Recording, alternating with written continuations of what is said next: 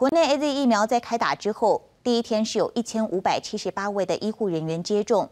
有一名北部的医护人员在接种之后出现了发烧症状，指挥中心说明这属于非严重不良事件通报。而卫福部长陈时中也在二十二号晚上发烧了。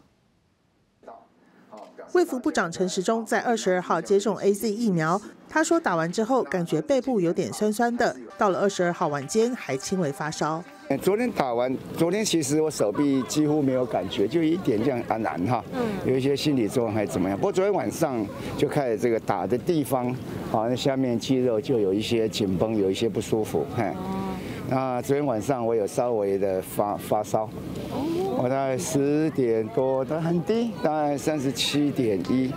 然后到十二点多的时候三十七点四，那今天早上起来就变三十六点四。陈时中说：“这是接种疫苗的正常反应，要平常心面对。第一天接种疫苗的人数大约是一千五百七十八人。”陈时中说：“希望能够再快一点。”指挥中心也公布，目前只有一个人出现不良反应。呃，接种后的不良事件是只有一件啊。那目前呃，这个事件是属于呃非严重的不良事件，就是属于可能是呃发烧或是呃疲倦的这一类的哦。另外，今年七月准备前往日本参加东京奥运的选手，也从二十三号开始打疫苗，共有十位选手完成接种，其中包括十九岁的网球选手曾俊欣。我刚开始打完的时候就都正常，然后之后过大概两三个小时开始肌肉有点酸，可能有时候在打的时候会有一点力气用不上来的感觉。日前上海传出有台湾输出新冠肺炎确诊个案。